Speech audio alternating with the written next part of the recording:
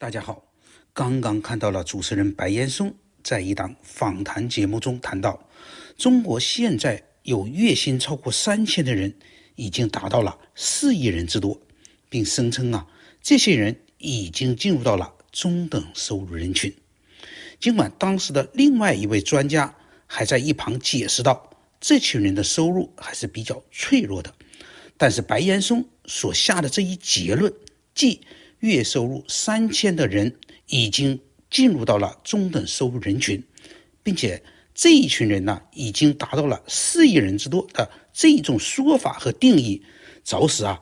要人惊掉了下巴。下面呢，让我们先来听一听主持人白岩松是怎么样进行这一段描述的。那如果要按国家统计局月收入三千来计算的话，咱们中等这个收入人群已经是四个亿了。可是好多人都拒绝进入，说我我我不是中等收入人群。中等收入群体啊，我们已经超过四亿了，里面大部分还是刚刚迈过中等收入的门槛，所以这部分群体呢还是比较脆弱的，他还要考虑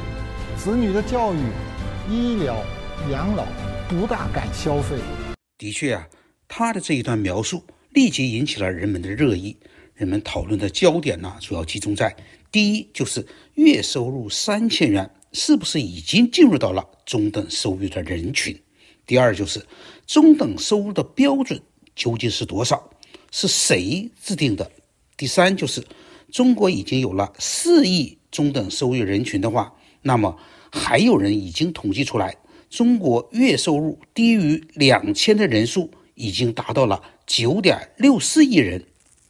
而且据胡润排行榜啊，他也做了一个统计，也就是说，在中国有六百万资产的家庭啊，达到了五百一十八万户。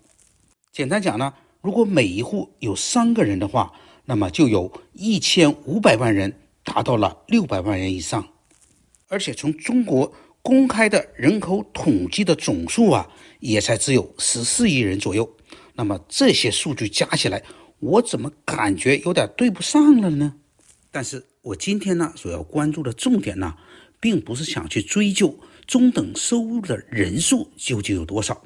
而是想看一看呢，如何我们去看待中等收入这个标准，即什么样的收入才算是中等收入标准？我呢大概查了一下，中国的确有一个专业的报告，他指出啊。中等收入的标准家庭是年收入十万到五十万，在这种情况下，如果一个家庭或者说一个标准家庭的人口是三个人的话，那么呢，的确也就是在年收入三到十五万左右，平均下来呢，也就是三千元以上。另外呢，世界银行也搞了一个中等收入的标准，这个标准呢，大约也就是每个人月收入在三千。到三万元之间。如此说来呀，表面上看，白岩松讲的这个标准呢是基本符合的。也就是说，所谓中国人定义的中等收入标准和世界银行的标准也是基本吻合的。这里边呢就出现了一个问题，也就是说，我们的统计数据与我们每个人的实际感受是否吻合？真的是无独有偶啊！我记得前几天呢，在《证券时报》上也发表了一篇文章，就是要为上证指数证明。这篇文章就提出了一个很让人费解的问题，即美国一百二十七年的股指增长了百分之五，而中国三十年的股指却增长了百分之十。结论是，中国股市是美国股市增长的两倍。但是这一结论呢，几乎让所有的股民难以接受。原因其实很简单，就是与现实情况不符啊。由于时间标准不同，得出的结论呢自然荒唐。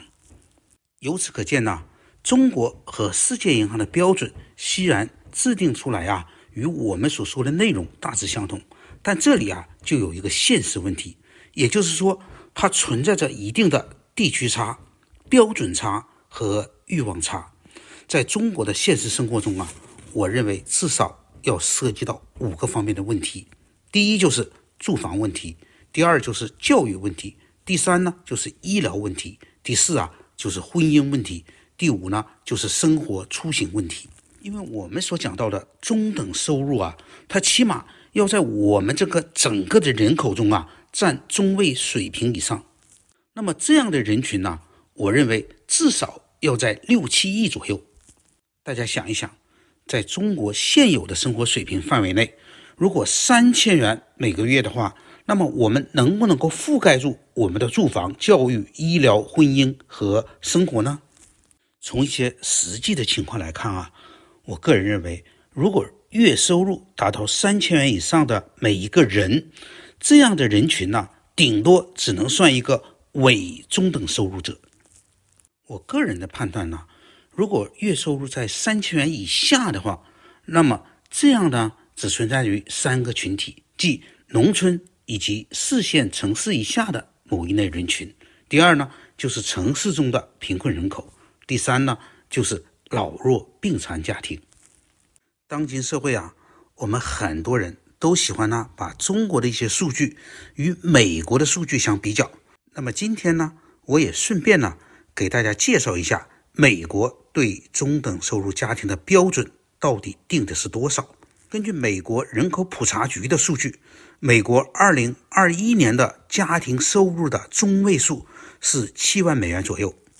这也就意味着啊，美国家庭的收入在四万七到十四万之间的美国家庭被定义为中产阶级。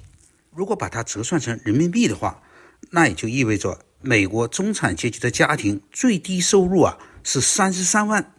最高收入呢大概在一百万。这就是美国人的中产家庭的收入标准。说到这里啊，人们不禁要问：美国有那么多的流浪汉？有那么多的贫困者，他们的生活又是怎样制定的呢？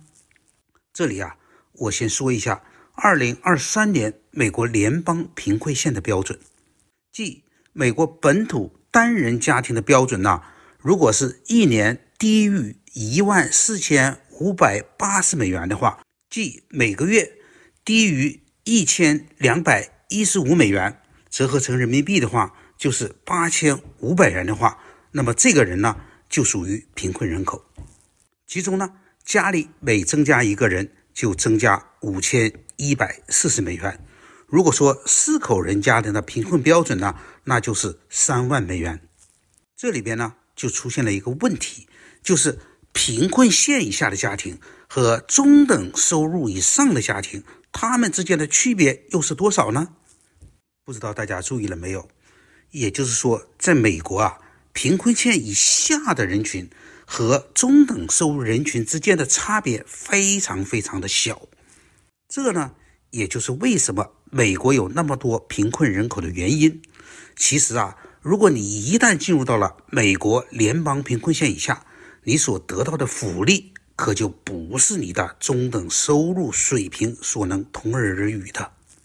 我给大家列举一下，如果你是贫困收入水平。你会得到哪些政府福利呢？第一就是医疗白卡全部免费。第二呢，就是你可以得到粮食券。第三呢，就是你可以得到红蓝卡的补助。第四呢，就是你可以获得母婴儿童营养补助。第五呢，就是你可以让你的孩子在学校免费午餐。第六呢，就是儿童医疗保健以及每个月所获得的国家福利补贴。至于那些临时性的，像疫情期间的补贴呀，通常呢都不会列入其中。我说这些数据的目的啊，并不是比较中国与美国中等收入的福利问题，而是说呀，无论是中国还是美国，其实啊，在制定中等收入标准的时候啊，其实表面上看都是差不多的。也就是说呀，在中国可能很多人呐。比较重视自己是否进入到了中等收入人群，但是在美国呀，却恰恰相反。因为所谓美国人是否进入中等收入这个人群呢，其实是一个虚拟的，是一个没有意义和价值的标志。而能否进入到贫困线以下的人口，这个呢，才是衡量每个人的重要标志。也就是说，一个国家，它应该花出更多的力量。更多的财富，更多的资源，应该集中起来去帮助那些贫困线以下的人群，而不是啊去天天讲究你是否进入到了中等收入人群。总之啊，我想通过白岩松所说的中国中等收入这个标准和人数，得出如下四个结论：第一呢，就是我们没有必要啊太关注中等收入这个标准和人群；第二就是我们要更多的关注。贫困线以下的人群，这个人群呢，才是值得我们关心的重点。第三就是啊，国家和社会应该更加科学和规范的制定贫困线标准，让更多的人能够安稳的生活。第四就是啊，更多的中高等收入的人群应该为低收入人群做一些救助和慈善工作。好吧，今天的话题呢？就先讲在这里，谢谢各位收看。